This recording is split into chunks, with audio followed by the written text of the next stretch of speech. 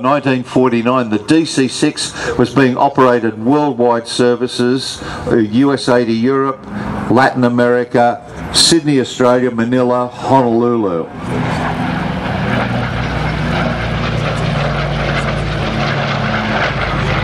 Those were the days when in-flight service actually meant a real plate and real knives and forks.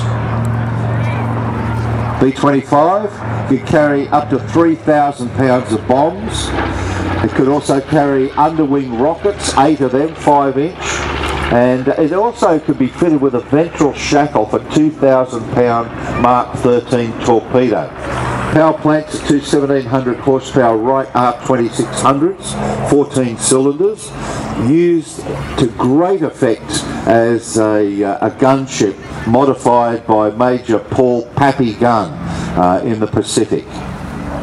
As you can see, the uh, DC-6 not generally seen in um, these sort of flight conditions as an airliner, but an incredible performer